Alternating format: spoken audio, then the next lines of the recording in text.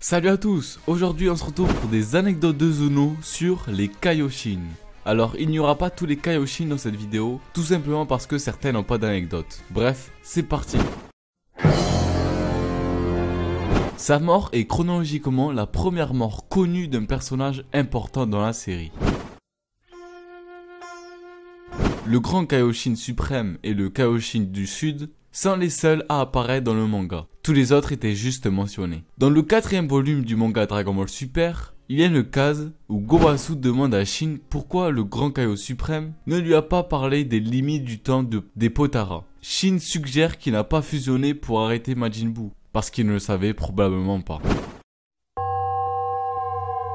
Il est implicite que le vieux Kaioshin est l'aîné de Kaioshin suprême, encore vivant dans toute la franchise Dragon Ball. Il prétend même qu'il a 1000 ans de plus que Chrono Il est aussi l'un des trois Kaoshin de l'univers 7, connu pour ne pas avoir été tué ou absorbé par Majin Buu, en raison de son scellement dans la Z-Sword. Malgré sa mort, le vieux Kaioshin a pu quitter l'autre monde et voyager dans le monde des vivants sans l'aide de Baba. Il est possible que sa position prestigieuse dans l'univers permette certains privilèges pour que cela soit possible, ou que ce soit la sorcellerie qu'il fusionne avec les mêmes pouvoirs que Baba. Lors de l'entraînement de Gohan, le vieux Kaioshin lit un manga. Parfois, il est montré retournant les pages de droite à gauche, ce qui implique que le livre est écrit dans l'ordre japonais. Cependant, à d'autres moments, il est montré retournant les pages de gauche à droite. Cela pourrait être expliqué par le fait que le vieux Kaoshin ait des cases qui retiennent son attention, lui donnant envie de revenir en arrière. La sagesse du vieux Kaoshin a contribué à la création de trois des transformations les plus puissantes de la série. Gohan Ultime, Végétaux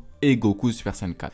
Considérant aussi l'âge du vieux Kaoshin et l'histoire qui les unit, Burus a peut-être choisi de faire en sorte que sa vie ne soit pas liée à Kaioshin, qui est plus jeune et qui serait plus facile à vivre pour Beerus. De plus, le vieux Kaoshin avait été scellé à l'intérieur de l'épée, donc Beerus a probablement choisi d'avoir sa vie liée à un autre Kaoshin avant qu'il ne soit lié à Kaoshin. Il convient également de noter que le vieux Kaoshin est mort brièvement pendant la saga Fusion, lorsqu'il a transféré sa vie à Goku. Il est à noter que le vieux Kaioshin a empêché Kaioshin de faire la même chose, qui aurait ironiquement sauvé la vie de Beerus, étant donné leurs histoires passées. Car on ignore si la restauration d'un Kaioshin suprême, lié à un dieu de la destruction, restaurera également le dieu de la destruction. Afin de fusionner avec la sorcière, le vieux Kaioshin avait l'air presque identique à Kaioshin, sauf que sa peau et ses cheveux étaient violets plutôt que blancs. Le vieux Kaioshin connaissait les transformations du grand singe doré et du Super Saiyan 4 et ils appelaient même ce dernier par son nom après la transformation de Goku. Mais il ne semblait pas savoir pourquoi le niveau de puissance de Goku n'avait pas augmenté avant de se transformer. Aussi, dans la saga Majin Buu, il n'a pas suggéré la transformation. Une possibilité qui n'a pas été mentionnée dans la saga Buu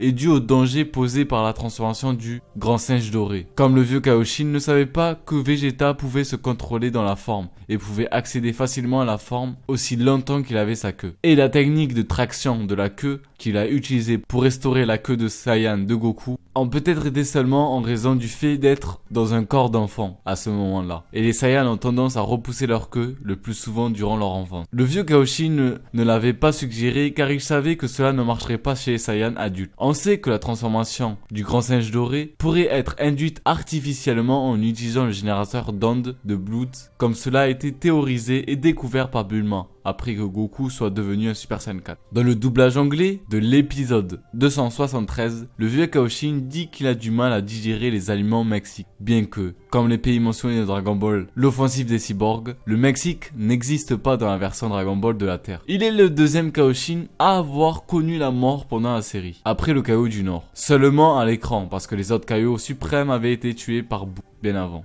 Le vieux Kaoshin et le maître Roshi ont des qualités très semblables. Les deux sont incroyablement vieux, les deux sont extrêmement pervers, et tous les deux ont une grande sagesse pour leurs élèves. Goku a même noté la similitude, une fois quand il a passé un accord avec le vieux Kaoshin, pour lui faire débloquer le plein potentiel de son fils. Dans Dragon Ball GT, dans la saga des Dragons Maléfiques, épisode 61, le vieux Kaoshin peut être entendu en écoutant la chanson thème d'ouverture originale de Dragon Ball GT, et en chantant. Dans d'autres versions, non américaines, il écoute Dan Dan. Dans Dragon Ball Xenoverse, il est démontré que le vieux Kaoshin aime vraiment les vêtements de Chichi petite. Si un guerrier du futur féminin lui parle tout en le portant. En outre, il donne souvent des pièces de cette tenue aux futurs guerriers. Le vieux Kaoshin et Gawasu ont plusieurs choses en commun. Les deux sont des personnes âgées, les deux sont des Kaoshin suprêmes, et les deux sont morts deux fois. La première mort du vieux Kaoshin était dans la chronologie principale. Il a donné sa vie à Goku afin que les Saiyans puissent revenir sur Terre pour aider son fils, Gohan, dans la bataille contre Majin. La première mort du futur Kaoshin était dans une ligne temporelle alternative. Il était toujours scellé dans l'épée quand Dabura du futur transforma l'arme en possession de Future Trunk en pierre. Il a ensuite été brisé et a été détruit par le ki de Dabura du futur. La première mort de Goasu était dans une chronologie alternative. Zamasu l'a tué pour assumer le rôle de Kaoshin et pour voler les boucles d'oreilles Potara et l'anneau. Cependant, cette mort a été annulée quand Whis a utilisé son pouvoir pour remonter le temps. La deuxième mort de Goasu était dans la chronologie principale. Lui et tout l'univers 10 ont été effacés de l'existence entièrement par Zeno et Future Zeno après que l'équipe 10 a été éliminée du tournoi. Comme indiqué dans l'anime et le manga Dragon Ball Super, la fusion Potara ne dure pas éternellement. La fusion Potara ne dure éternellement qu'entre les Kaioshin. Ce qui fait douter du fait que le vieux Kaioshin est encore un être fusionné. Parce que la vieille sorcière n'est pas un Kaioshin suprême. Cependant, il est probable qu'il faut que ce soit l'un des deux qui soit Kaioshin. Pour que la fusion soit permanente. Ce qui expliquerait pourquoi le vieux Kaioshin reste fusionné malgré le fait que la sorcière n'est pas un Kaioshin. Comme le vieux Kaioshin est resté fusionné pendant plusieurs millénaires, cela pourrait être expliqué comme preuve que plus ou moins confirme qu'il faut seulement un seul Kaioshin pour que la fusion Potara reste permanente. Il convient également de noter que Kibito est un assistant Kaioshin et non un Kaioshin suprême, puisqu'il n'est qu'un assistant. Mais pourtant, Kibito-shin est resté fusionné jusqu'à qu'il font le souhait à Purunga, soutenant davantage l'idée qu'une seule être doit être Kaioshin pour que la fusion qui en résulte reste permanente, à moins de défaire un souhait bien évidemment. Alors que le vieux Kaioshin est sage et bien informé, Kaioshin ignore la fusion Potara et le Super Saiyan 4. Il n'est pas aussi bien informé sur la mécanique de la fusion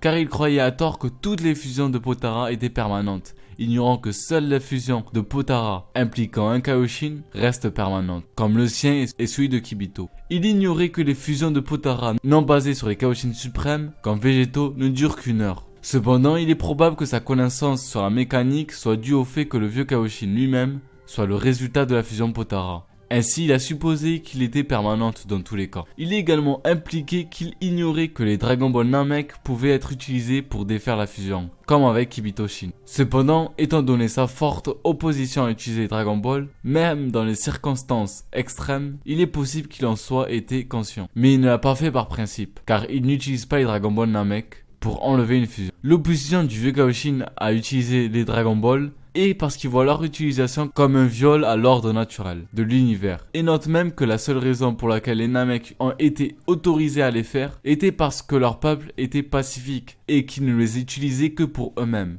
C'est pourquoi il était si bouleversé par l'existence des Dragon Ball sur Terre, sachant que les Terriens et le fait que les Namek permirent aux étrangers d'utiliser les Dragon Ball. En outre, les Dragon Ball peuvent rendre les mortels paresseux et ou être utilisés pour des choses frivoles, telles que la richesse ou la célébrité, qui pourraient entraver le développement des mortels. En plus des conflits créés par les mortels et les dieux destruction qui cherchent à utiliser les Dragon Ball, tels que la bataille sur la planète Namek. Cependant, il est intéressant de noter que le vieux Kaoshin est apparemment la seule divinité à détenir ce point de vue en tant que roi. Car les autres, Kaoshin, Kibitoshin, Birus et Champa, ne voient aucun problème avec leur existence. Et certains ont même utilisé Dragon Ball.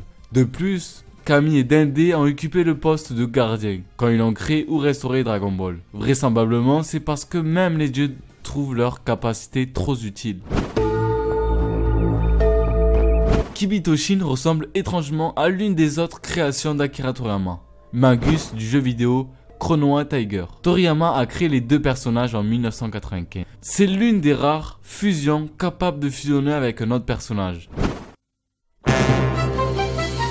Bien que Kibito Shin défasse Kibito et Kaoshin dans Dragon Ball Super, Kibito est resté fusionné avec Kaoshin dans Dragon Ball GT, indiquant que Kibito Shin n'a jamais utilisé Dragon Ball Namek pour défaire la fusion pendant la chronologie de GT. La raison pour laquelle cela n'a pas eu lieu est inconnue, mais c'est probablement dû au fait qu'au moment de la création de Dragon Ball GT, on ignorait que la fusion Potara pouvait être annulée en utilisant les Dragon Ball. Et la fusion Potara était généralement considérée comme permanente, à moins d'être mise en place dans un environnement qui ne le supportait pas. Ce qui explique pourquoi Végéto a été désamorcé car le vieux Kaoshin ignorait que la fusion Potara ne reste permanente que pour les Kaioshin. Il est peu probable que Kibito et Kaioshin auraient fusionné Kibito-Shin car ils ont décidé d'utiliser Dragon Ball Namek dans Dragon Ball Super pour défaire la fusion, car ils étaient fatigués d'être fusionnés en Kibito-Shin. Et voilà, cette vidéo est terminée, n'hésite pas à lâcher le like, à partager cette vidéo, et surtout à la liker. Sur ce, on se retrouve pour une prochaine vidéo. Ciao